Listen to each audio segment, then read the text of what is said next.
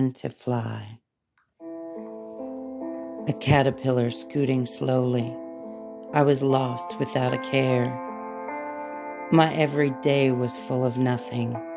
There was misery and despair. My master came and he bound me tightly. A chrysalis became my home. It was a tight and warm protection, but I was afraid and so alone. For days and nights, I hung there helpless. It seemed my life was surely through. The awesome weight of all my burdens was wrapped up in that bondage, too. The pain of changes began to wake me, the lack of sun within my tomb the breathlessness at times alarmed me. It seemed to seal my coming doom. Then the Lord began to feed me, and in my pain I thought to pray. He stopped me from my selfish crying.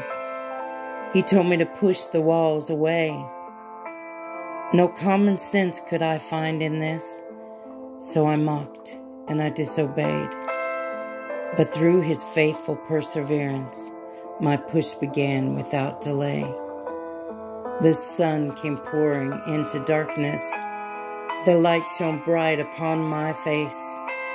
The wind began to blow my body as I broke my holding place. Then I looked out of my prison and I gazed at all the world.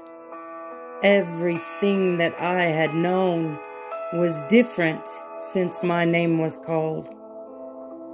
Again, I heard my Lord's direction. Still a greater plan unfurled.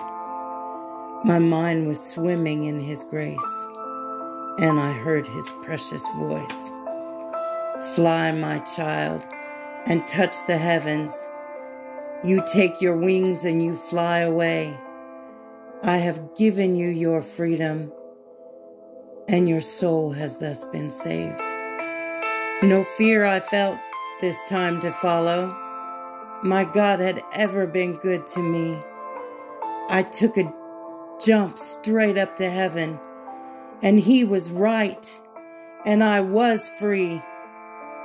My wings a gift from God eternal. I don't deserve this precious prize. My God forgave my misdirections. It was always His plan to see me fly. Praise God.